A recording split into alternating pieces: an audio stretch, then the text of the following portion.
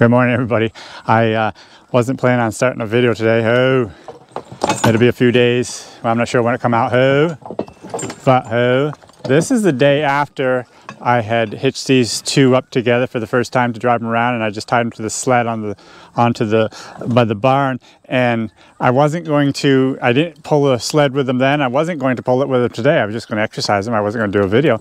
And uh, but uh, they were standing there, and I said, you know, I'm going to try it. So I started around the corner of the barn, and I said, well, I better. I better call Brenda, see if she come out and film this because I wanted to show you the full process of what's going on. And so so here we are and here we're going. I cuffed up. Cuffed up.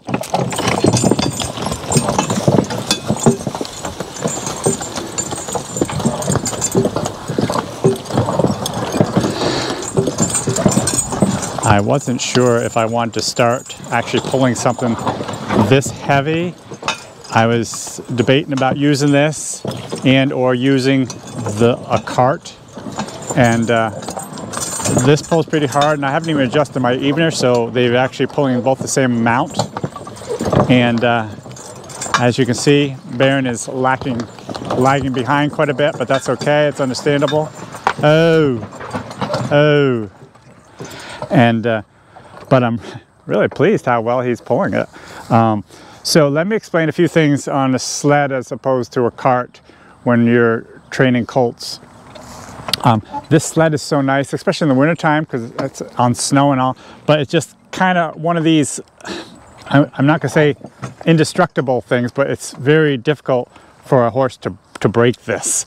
Um, yeah, so, but that's one good thing about when you're using a colt. Um, also, if it's on dry ground, especially if they start to run, they're not going to run for a long time with this. A colt's not because they they don't know how to work. They don't have the muscles, and so it tires them out fast. Oh, that's a good thing and a bad thing. When you're using this with a colt, you have to realize that and just use them very little um, because you'll tire them out so fast on something this heavy. Um, but it's still just a great thing to use. The problem with this is some colts won't even pull and you've got to, it takes a process just to teach them to pull and even as simple as a sled. Um, so with a colt like that, you're better off with a two-wheeled cart.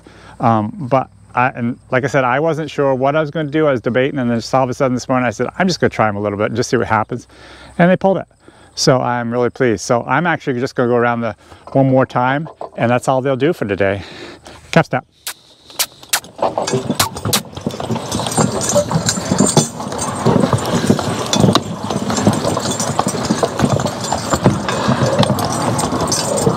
I actually was going to do this training process quite a bit differently, but things have progressed, been progressingly extremely, extremely well. And so I'm actually not doing a few things that I normally would have done.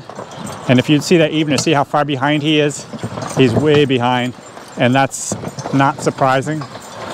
Um, I'm going to crack him just to get him up there a little bit, just so he knows he's got to be up there. Oh, oh. Um, but anyways, what I had planned on doing, what I would normally have done, is I would have taken him still driving single and had him pull something like a tire or something light behind him to get used to that dragging noise because sometimes some horses would be pretty freaking out when they when they are pulling dragging something like this the noise behind them would freak them out. It doesn't seem to bother him at all. Um, he's doing excellent as far as that goes. Um, but uh, yeah, I'm, I'm ho, ho. I'm very pleased. As I, as he was tied there to the truck body, he was doing a lot of jerking, you know, pulling ahead, and every time he did, he pulled the sled. So it, I knew that he, you know, he was able to do it with Ken's help, of course. And so I calf step, calf step. A whip would be really nice right now, and I have one, but it's not long enough to reach him because I'm quite a long ways from him. So I have to just depend on using the lines and, and, and hopefully using good judgment to know how far to pull it uh, and you know for how long. But I'm not definitely not going to pull it very long. I'm gonna this will be my last time around for today and that's all we'll do with him for today. But my goodness I am just thrilled as to well how, how well he's doing. Oh Oh, what do you think, Brenda? He's doing amazing. He is. So now that he, now that I know he can pull this, this is going to be the the implement that I'm going to be using with him. Um, I wish I could just work them every single day, but that's just not going to happen. I just have too many things to do. Um, but now I at least know that next time I come out, which hopefully won't be too much longer, I will hitch him right onto the sled and and I can actually go right out around the field. If by keeping them in the, the green grass or just the grass in general, it slides so much easier than if it was on dry dirt. You know, it's a lot less friction. Yeah, I was So- looking to see if like he's breathing hard. He's not. Oh no. So, He's doing great with it. It's better than just dancing, right, Baron? a cap step. Sometimes you can take advantage of his foolishness. Now he get, gets anxious like that. Um, sometimes I'll make them just stop and stand there, but sometimes I'll, I'll take advantage of that anxiousness and, and ask him to go right when he's getting anxious so that he will go and start easier um, without me having to hit him. Fortunately, for some reason, the, the colts, none of the cows are out here to pasture, so they're not bothering us. They're doing so well, I, I could most definitely go more than twice around, but I'm not going to. I'm just going to drive right back over the truck body, unhitch them, and that's it for the day. So I'm very pleased with it. Maybe later in the video, we could throw on, show a few of these horses on the scales to give you an update as to how much they're weighing. I'm quite curious how much he's, he weighs now since we've had him for several months. Even though he doesn't look that big, I bet he's, I bet he can surprise you on how heavy he is. So we're gonna drive right up to the truck body, and uh, it's very nice because when I when I tap him a little bit, he usually jumps ahead. Oh, oh, oh, good boy. Oh, good boy. So I'm just gonna tie him to his halter and unhitch him. There we go. Here.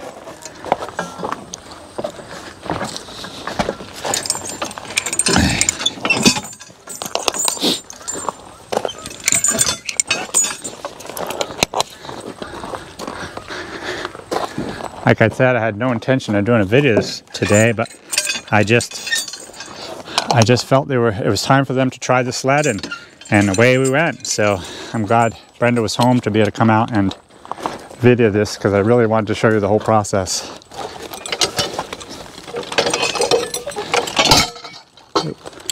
Here. Calf step. Calf. Careful.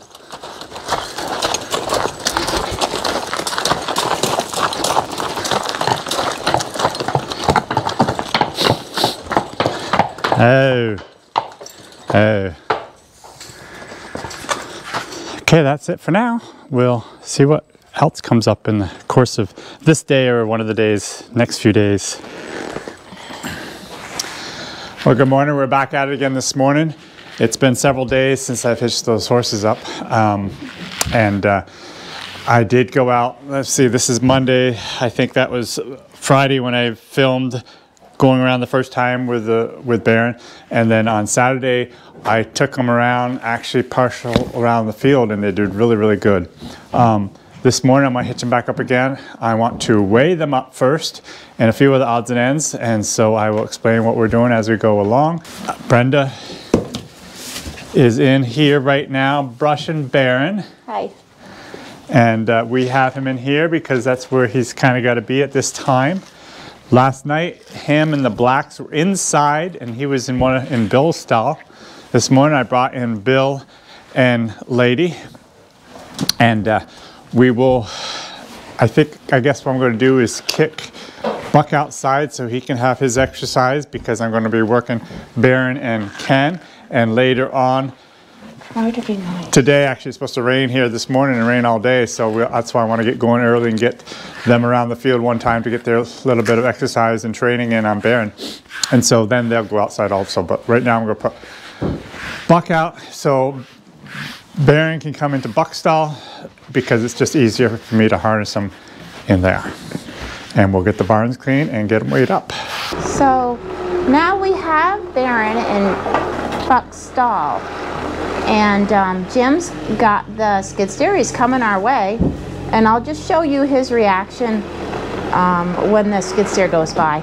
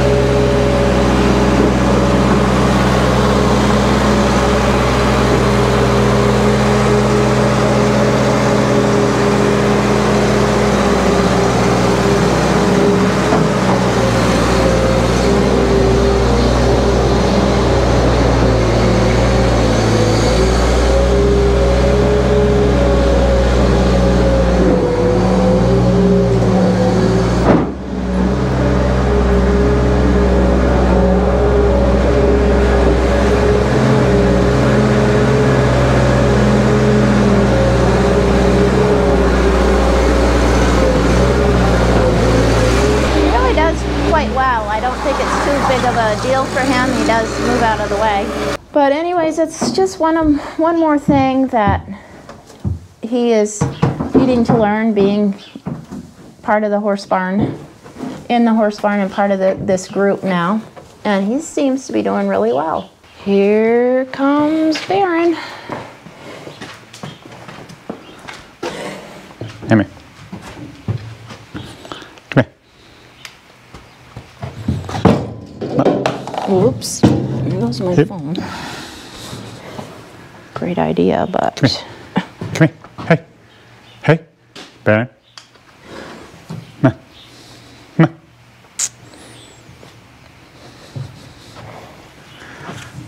Come here.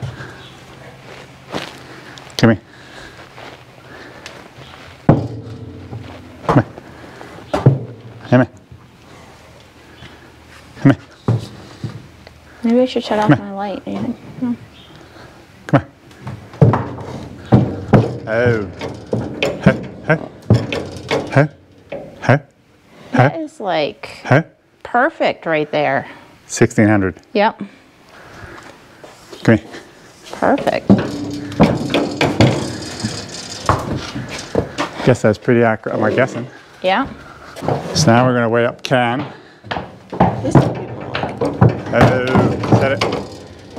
1900. that's 2,000. Oh. Oh. That's 18.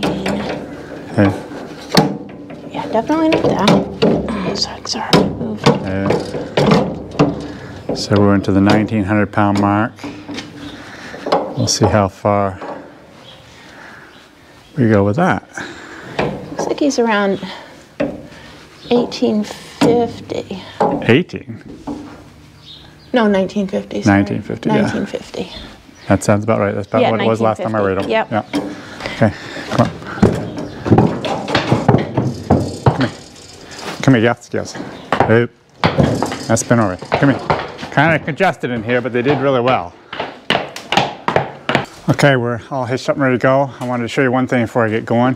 On my last video, I had tried to explain um, the problems with if a horse, when you're line driving them, if you got one horse and he goes way ahead of the other horse, you have the risk of the buckle going through the ring. And let me explain what that means and, and what I've done to stop that from happening. I'm gonna keep this door partially shut just to keep him where he belongs. Okay, so this is the buckle I'm talking about. What could potentially happen if one horse is to go ahead, this buckle could actually get pulled through here. It's hard to believe it can, but it most definitely can get pulled through here like that, okay?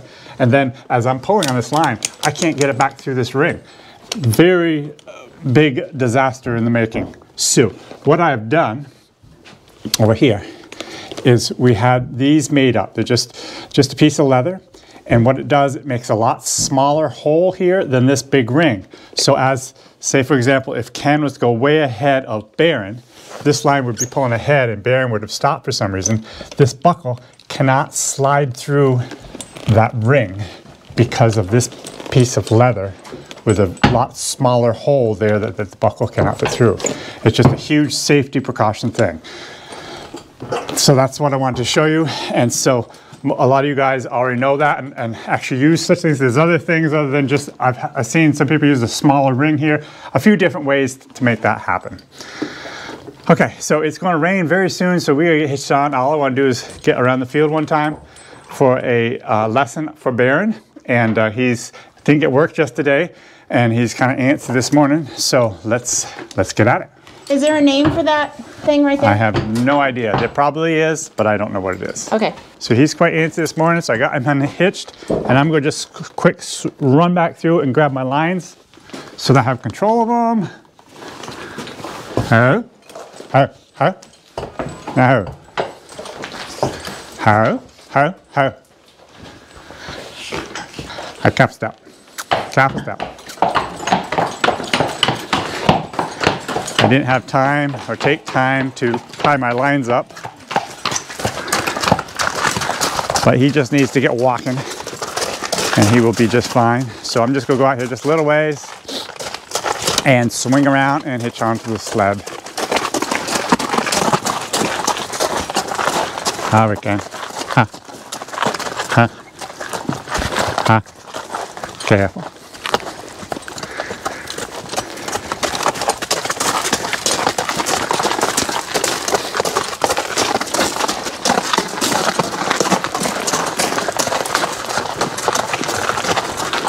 Ah, A ver.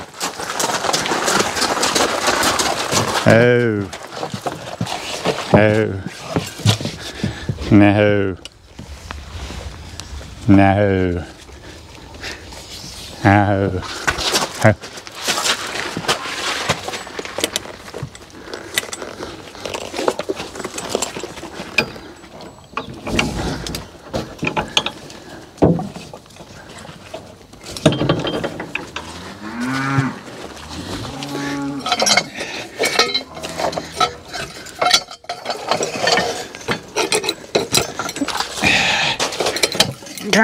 Kind of a mud puddle wherever we go here today.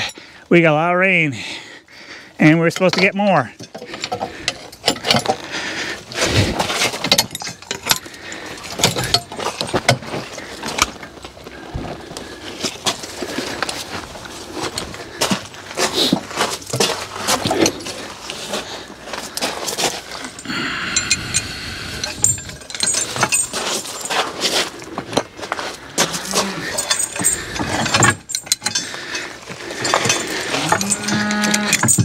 Know if you noticed it, but his butt is closer to where it should be. This is the third time, I think, one, two, fourth time I've hitched him on the sled and how he's improving already. Just he's not fighting that tug and not trying to slide his butt out all the time.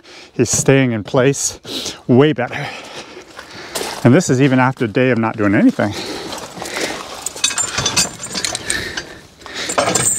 Pipe can. Pipe can.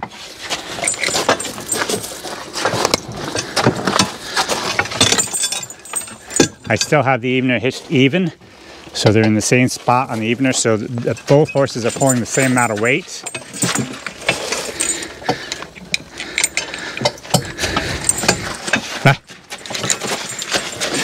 And by good rights, I really should change that. I should actually put this bolt right here and slide this whipple tree way out to this last hole because um, for one, he's a colt, and for two, as we just found out weighing him up, there's 350 pounds difference in weight. So having this offset would be a very wise thing to do. Um, but I'm just not going to because it's not really necessary for just pulling a light load like this.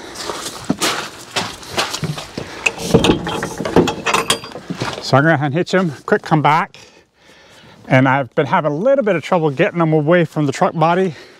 We're gonna go right through that mud puddle in the process. So instead of standing on the sled, I actually step down beside Baron so that I can tap him a little bit if need be. I cuffed out, cuffed out.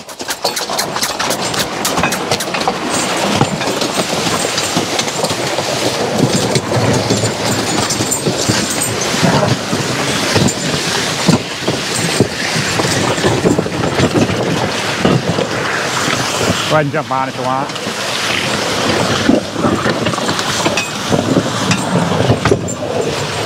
Brenda's gonna jump right on and ride for a little while. Everything's so wet, she'll get soaked. Although she does have her boots on. But um, because, because it is Monday morning, they both are feeling good and fresh. And uh, because everything is so wet, everything slides a lot easier. I told her she might as well jump right on if she wants because we're just gonna make one loop around. And a day like this when it's gonna be raining, I'm just happy to be able to get even the one time around.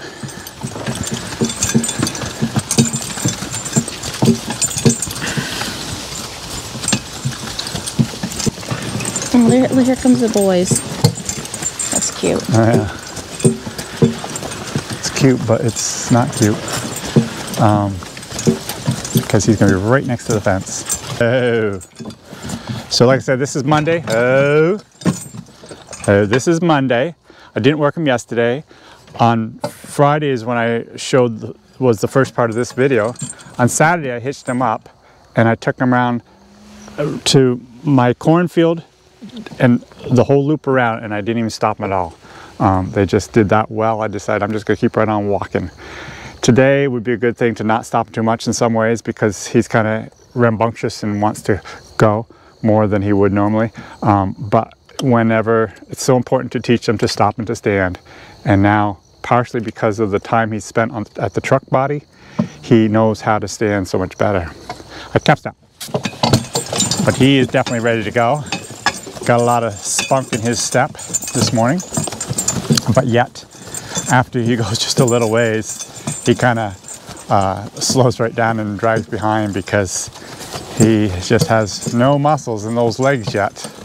And no he doesn't have what what he needs between his ears either.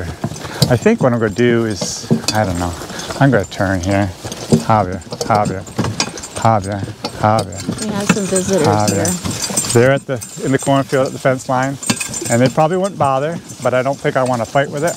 The chance of it bothering so I'm going to come turn right here and make my loop a little bit shorter than I'd planned and uh, go up this side of the field. As you can see, he's really lagging behind going up this little hill. Uh, it's, it's amazing uh, how long it takes to train a horse and how to, long to get him to be strong enough to do jobs like this. Oh, I want to explain a few things. Out here, where the colts are, that's the cornfield. You've probably seen in other videos how I put the cows out in the cornfield to, to chew that all down. This piece right beside us is a new seeding that I seeded down this spring. I cut it once and I round baled and wrapped it. Um, this I'd like to get cut again, but I'm kind of possibly wait until the, we have a frost and then I'll cut it and we'll round bale and wrap it. Um, just because it's better for the for the for everything if if you wait to a frost in this situation. Otherwise, it needs a few weeks of regrowth before the frost hits. So I kept stop. Kept stop. I am trying to, to show and to, to share my experience with training Baron and my other colts too, um, so that it might be a help to somebody that's training their horses. Um, some of the things that you're going to be seeing with him are probably going to happen when you're training your horses. Um, for example, like I've said many times, if you watch the evener, which I am one to watch a lot, even on my big horses, um, I want the evener to go straight across to be even. That's why it's called an evener. And it is not right now. Um, Baron is dragging behind quite a bit, and that is that is normal. Um, but you need to strive to get him there's a rock I've been going to pick up. Uh, you need to strive to get him to walk even with the horse beside him. And he will in time, but uh, right now it's, uh, it's still a learning process. Now, a lot of people have asked when I'm actually going to put him to actual work other than just training and exercises. Um, at this stage in his training, he could be there's more that he could be doing. He could be, if it was in the middle of the summertime, um, I could put him on a rake or a tedder and do some fairly long walking with him. He's old enough now, that could be done. Um, but I still, am not one to do that. I like to get wait until they're four years old before I do a lot of that stuff. It's just the muscles um, and their bones just have not matured enough to really do a lot of work. Now, I know a lot of people do do that, but I, I just don't. So curious to see what the colts are going to do when I swing in by this other fence. Baron has his eyes over there. Come up. But I'm going to just keep rolling and hopefully they'll stay where they're at and not bother, bother us. And we'll head for home because it's starting to rain. As we swing this corner, Ken knows we're headed back to the barn and thinking and probably hoping that he's done for the day. Um, and Baron just does not even know and understand that, so he's lagging behind quite a bit. Can I ask you a question? Sure can. Your whipple tree and your evener, do they ever get like, um, you know how he's so far behind? Yeah. Do they get hooked in together and does that cause any problems? Generally, no. I mean, I don't, not sure what you mean by hooked in together. I don't see how. Well, like I know from when when I'm hitching evener, like they sometimes it kind of gets underneath and it's hard to move it. yeah, but that's because it's underneath the stone boat. Come on, come on, Baron. Get up there. Yeah, so it's not an issue. Yeah, let me stand over here because I can put more pressure on Ken's side. It's funny how now Baron is so much more behind. Right. I think it's because he's tired. But it's, it's partially because Ken is picking up speed because he's headed back to the barn. Um, he also, we've had a lot of wet weather, so he has not been working much at all. None of my horses have really. And so um, they, he's just, he's, he's got a lot of energy and he could go, go, go. And he's, he's also a bit on the lazy side, so he's no thinking that we're heading back to the barn, he's gonna be all done. So let's just get it done with. but uh, it makes it hard to train a, whole, or a colt when he's doing this. Um, but this is this is there again. One more thing you got to um, deal with when you're training your colt. If you're training them with, no matter what horse you're training with, you're not always going to have a horse that's going to work perfect. Now, if I work Ken just a little bit more, he'd be perfect. But but today, right now, I'm not liking what he's doing. But I can live with it. Wouldn't you say most horses, when they're headed back to the barn, do this? Uh, no, only when they're really energetic. If when they're tired, they don't. We got a problem here with the fence. Oh dear. I think there's a fence post in here. It's Supposed to be. I think it's right where it's down right there. There's a fence post. So jump over there if you could, please, and pick that up and fix that. Hi guys. Oh. Come stop. We'll have to run back to get another fence post. I'll just walk the side.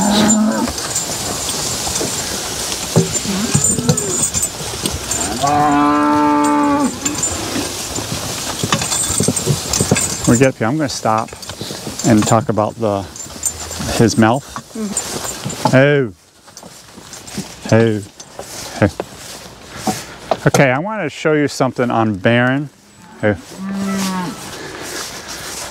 So when you're training a colt, um, you have put a bit in their mouths, and they've never had that in their mouths. And a bit is is a little bit can be a little bit harsh on their mouth, and their mouths have to actually be calloused up before um, they can really be good with the bit. It's like you when you go out and do work, uh, and your hands will get very sore and will get um, blisters on them, and but the, you will build calluses over time. So I'm going to show you something with his. This is not at all unusual.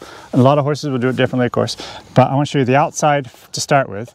You see, there's nothing there. There's not a mark there. Okay, clean as can be. But on the inside of his mouth, it is red. Can you see that? Yeah, there's yeah.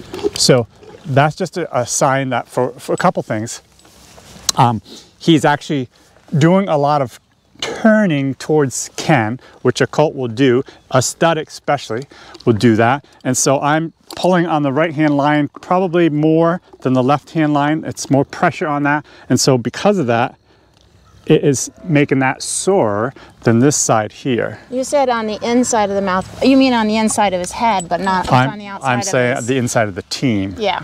So this his inside right here, and you can see that red red mark. Yeah. Um, so yes, it's sore, but um, that will get toughened up and stop being sore after a period of time.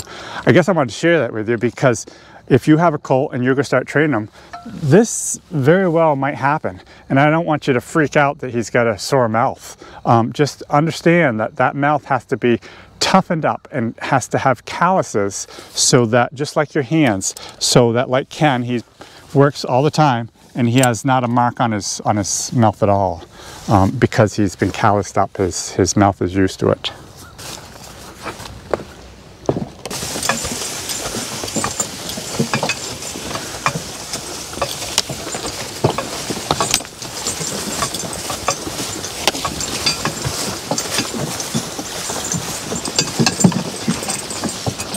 Careful, G.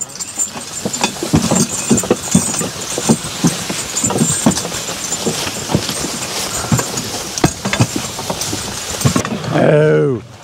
oh. oh. Yuck. Okay, it is definitely starting to rain. We've been hearing some thunder. We're gonna put these horses away and be done for the day. I hope you enjoyed this video. Stay dry and have a great day. Cuff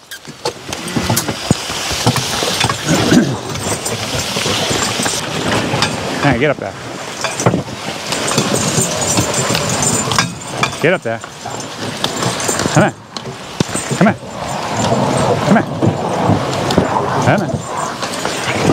Come on. Oh. Oh. Oh. Oh. No. Oh. Oh. Oh. Oh.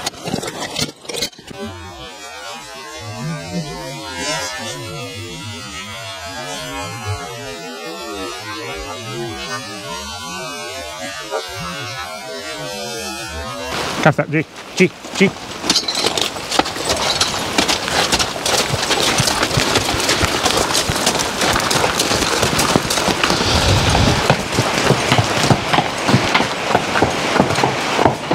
Oh. Oh. We made it. Oh, oh, oh, oh. Oh, back. Back up here. Oh.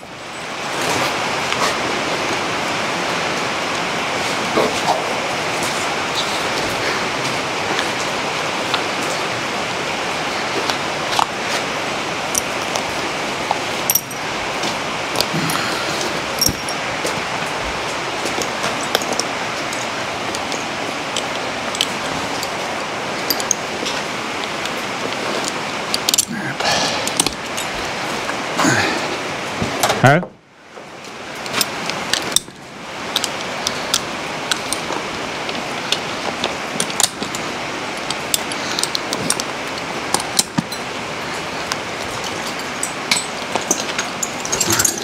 Okay, cap.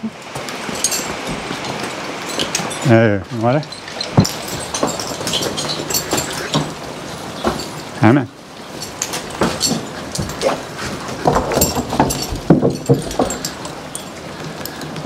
Okay, Ken. Come on in.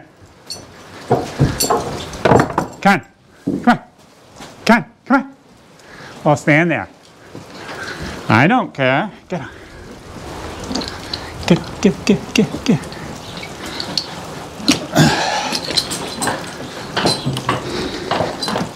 Oh, he's gonna be bad and get into the hay.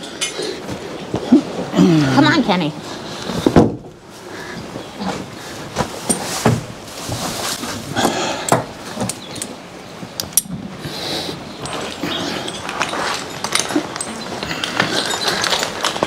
Ken, come.